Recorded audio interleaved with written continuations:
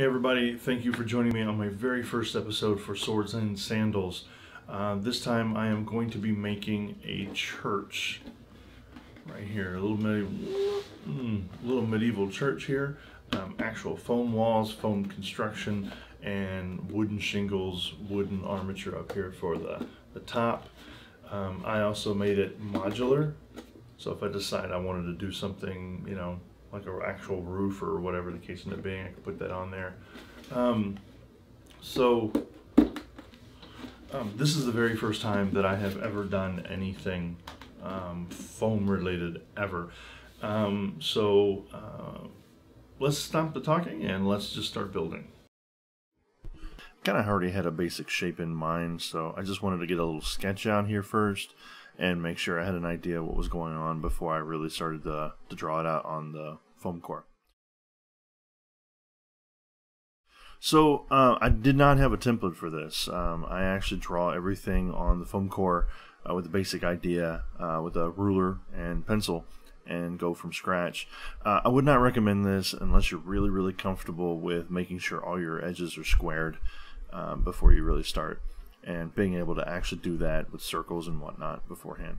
So I started um, with uh, pinning uh, a design first, and uh, the honestly the the idea is that I had this sort of rectangular sort of uh, bell tower in the front, and eventually I found out that this was just not something that I really wanted. Uh, aesthetically, it just didn't look very good. So I went back and I ended up having to recreate it a couple of times. Um, but uh, if you notice when I put the, the pins in the foam core, it's because I am never, ever, ever putting anything down that's actually going to be solid until I'm absolutely 100% sure it's where I want to go. Otherwise, it's just too hard. You end up destroying too much. So um, I'll make maybe two or three of these before I finally got to the point where I was really happy with the design. And of course, uh, when it comes to the schematic, um, I've updated it to be my uh, very last design and not all the stuff in between. Um, circles are always just so hard to cut. Uh, it takes forever, um, even when it's sped up. So here I am, just kind of putting in the pins. These are basic.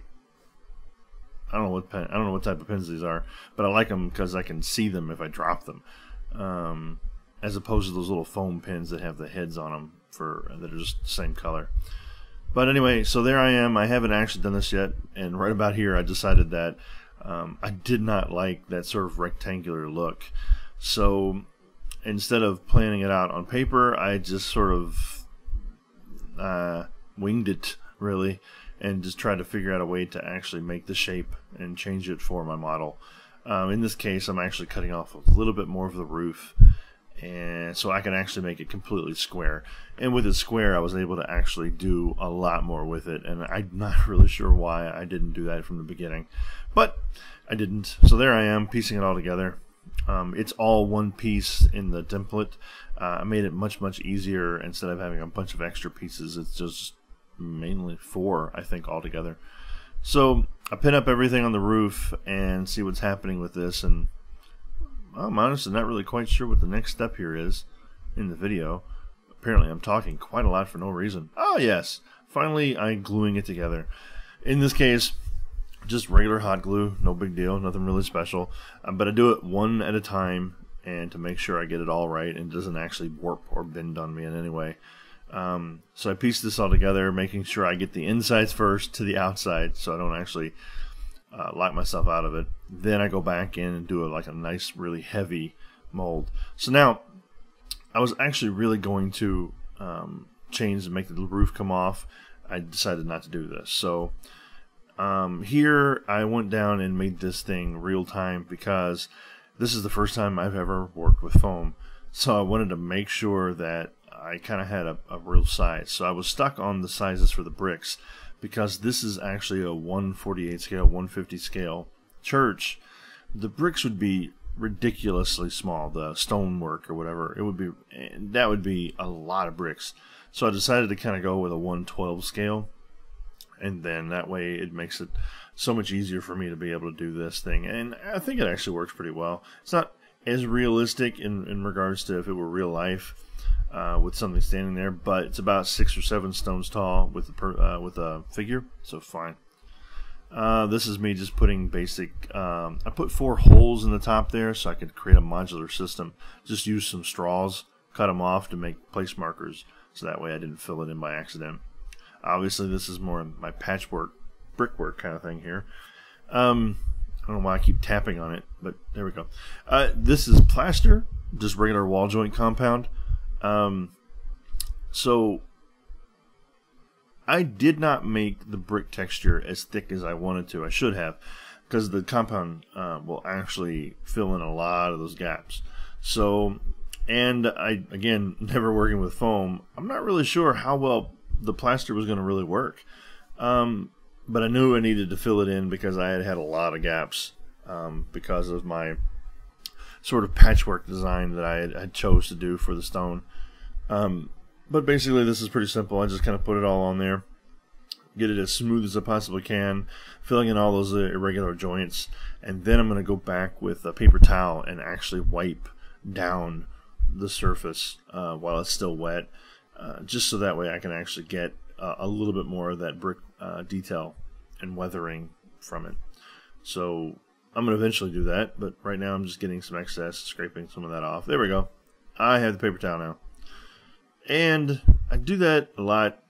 Um, after one side, I had to throw the paper towel away because it's just too much.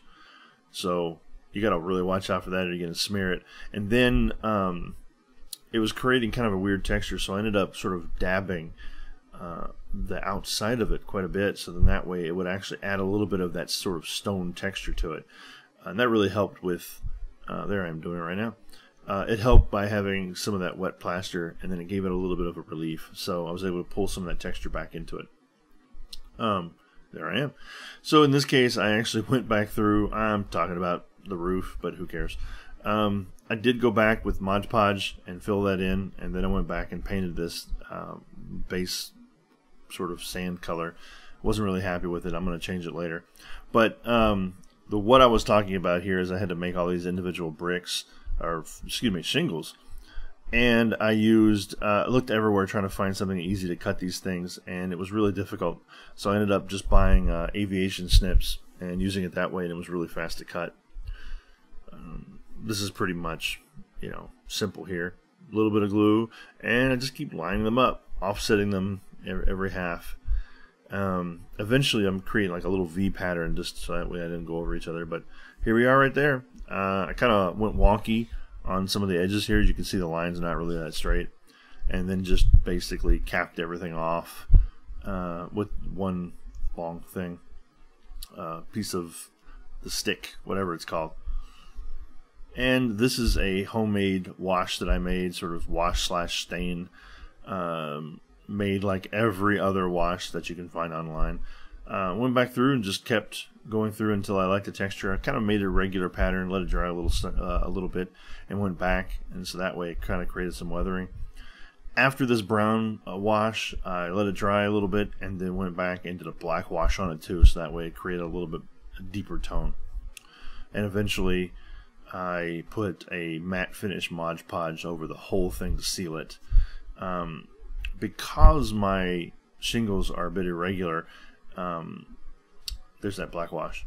Actually, no, take that back. There's brown wash still. Um, there is with the black wash, yeah.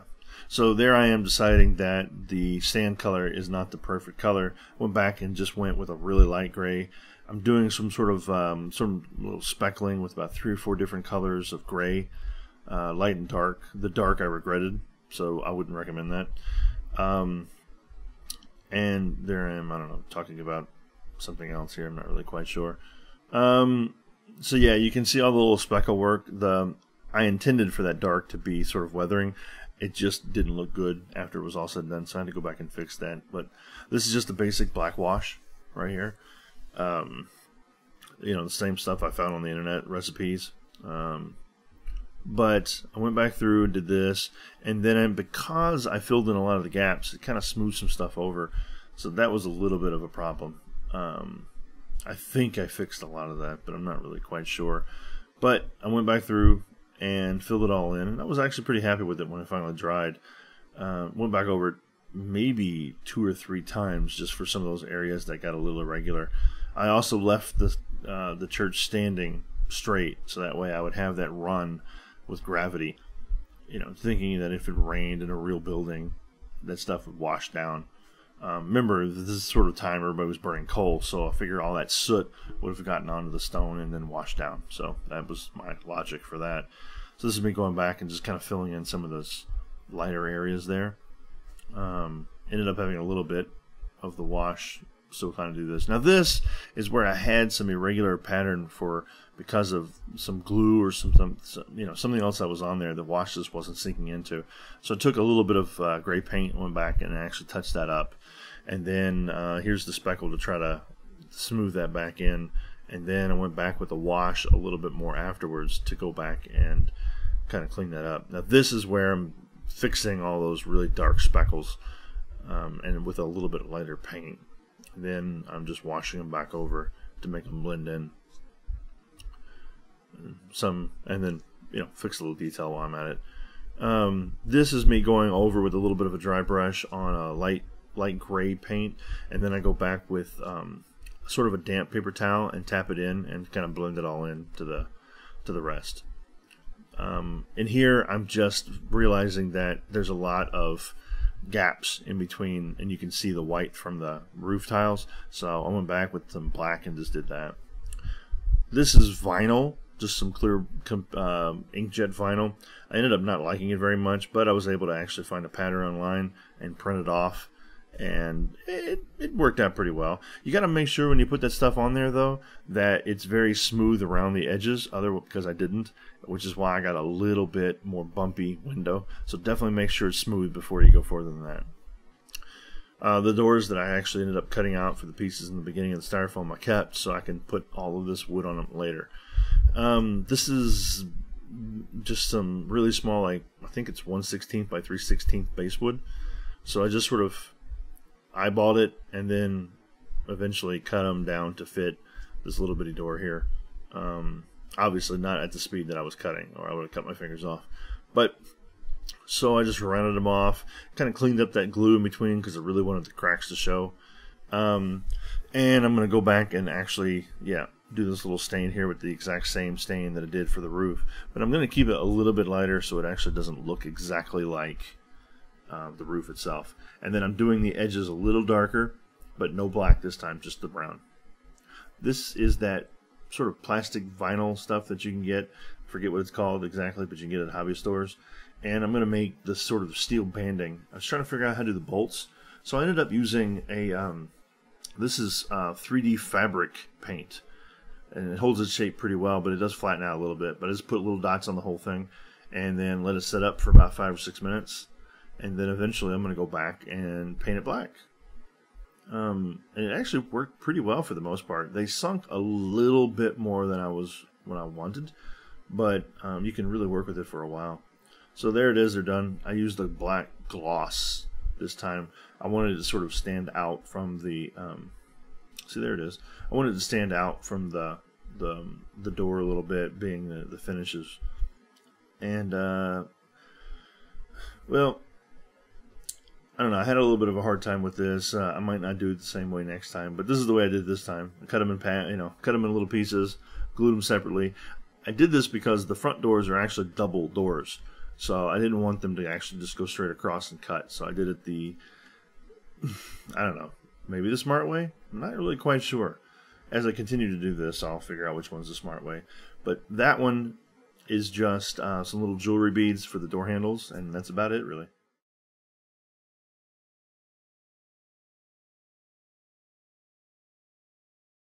Okay, so that about wraps it up for this build. Um, well, to be fair, this took a really long time. Uh, it really did. Um, this, I think it was about 26 hours from start to finish. Now, mind you, for me, I was um, just learning how to use foam for the very first time, so every technique was pretty much brand new to me um, I was also um, kind of redesigning as time went on. So those all sort of added to the whole thing. Uh, ultimately, I have somewhere around 1,600 foam bricks that I individually placed. There's just a little over 1,200 shingles, front and back. And obviously the there's the little wooden floor in there on the topper there. Not a big deal. That took me just a few minutes. Um, but overall, uh, I think I'm going to try something a little smaller next time. something that doesn't take as much time. But uh, you can get this download of my template here and all the measurements that I took and used for it um, on my Patreon. Please go check out my Patreon, the link below. Now, this schematic for this build is actually absolutely free. You do not have to be a member, but I would love for you to sign up and help contribute to my Patreon account and keep me doing this all the time.